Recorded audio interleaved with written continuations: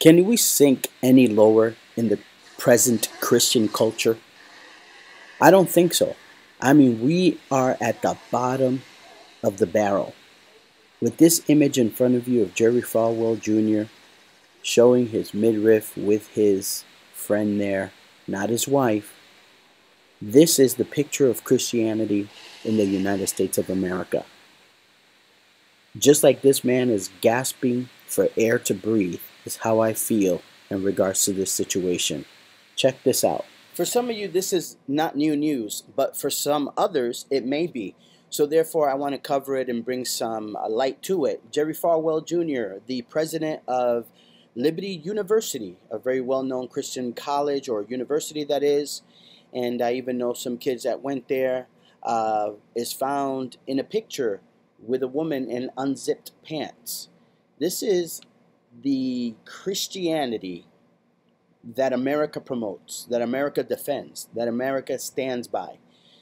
I will tell you right now that he is not the last who will be prodded on the stage of forgiveness and we all make mistakes and we all fall short of the glory of God conundrum. It is always the same song and dance. Something comes out that is racy, that is questionable, that is immoral by one of these leaders. I remember when Mark Driscoll uh, was heading up the large church there in Portland, Seattle. Uh, I think it was Acts 29 ministry that he started and Mars Hill Church. And the guy, you know, he wrote a book, plagiarized it, got on New York Times bestseller list, and they did it by buying the books themselves to shoot himself up to the bestseller list of the New York Times, therefore looking good on his portfolio and um, doing it with the church money. Uh, go figure. These are the leaders that have taken positions of power and authority over church people. And the ironic thing is that the church people do not stand up for biblical truth. They rather defend the personality. When you call them out, you get all their supporters hating on you for no apparent reason other than you bringing attention to what they have already done publicly and taking them to task biblically.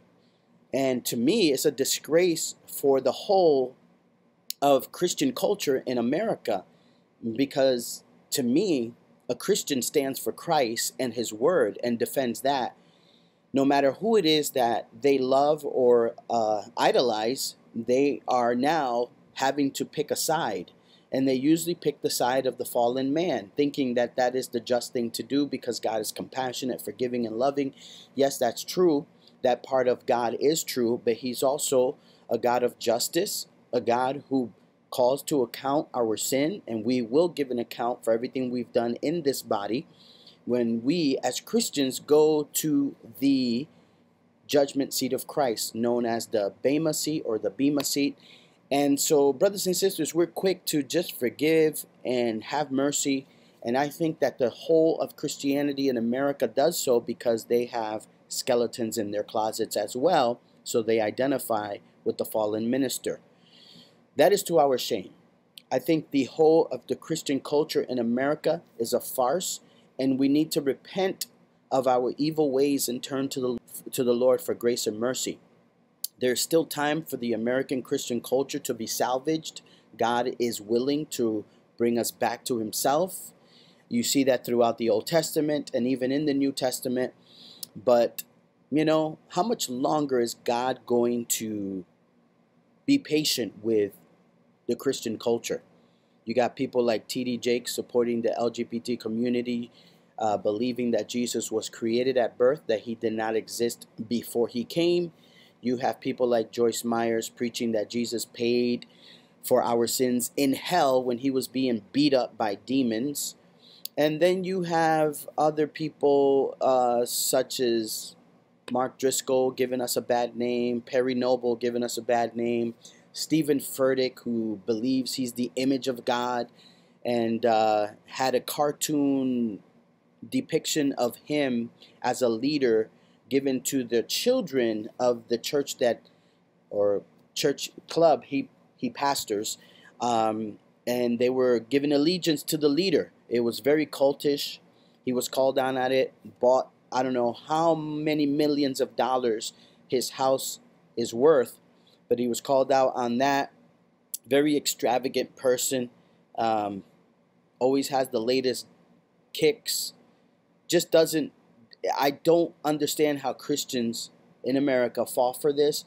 The only uh, answer to that is they're the, they're deceived and they love it that way. Just as Jeremiah said in Jeremiah chapter five, the end of that chapter, the prophets were lying to the people, and the people loved it that way. So this is what we have as Christian representatives in America. No wonder why the nation is tanking. No wonder why Muslims are growing in popularity and in quantity in our very shores because there's a vacuum now. There's a small number of true biblical Christianity uh, churches that are biblically uh, orthodox and true to the faith and true to the Word of God and true to Christ, the Lamb of God, who is God Himself in the flesh. Um, and we're in the we're the minorities. And brothers and sisters, you, you have to be aware of this. We're living in a dark day. Christianity, as Shaolin said, we're in post-Christian uh, culture.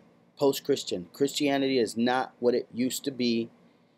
And only God can recover it. This is Noel from Against All Hope Ministries. God bless you.